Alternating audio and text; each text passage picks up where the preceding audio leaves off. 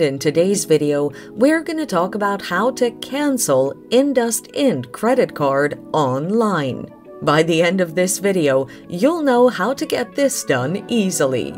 Just as it is easy to obtain a credit card, you would expect the cancellation process to be easy too, right?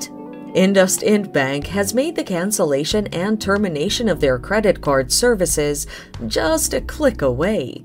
The following are the steps for easily canceling your IndusInd bank credit card online. First, sign into your IndusInd credit card account using the registered mobile number.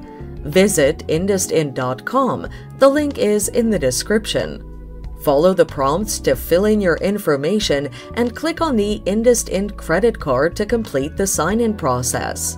Next, click on the IndusInd credit card service icon. From the drop-down menu, click Block Credit Card.